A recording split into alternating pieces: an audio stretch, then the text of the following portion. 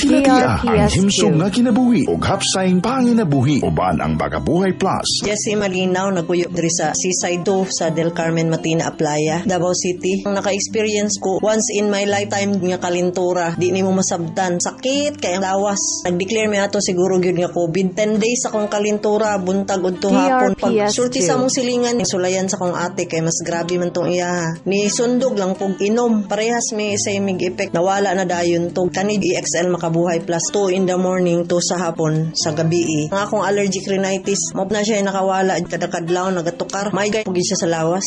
Therapist ko o kining caregiver. May gay ni EXL makabuhay plus para sa pang-maintenance na to kada adlaw. Magabuhay! Mapalit sa mga butika.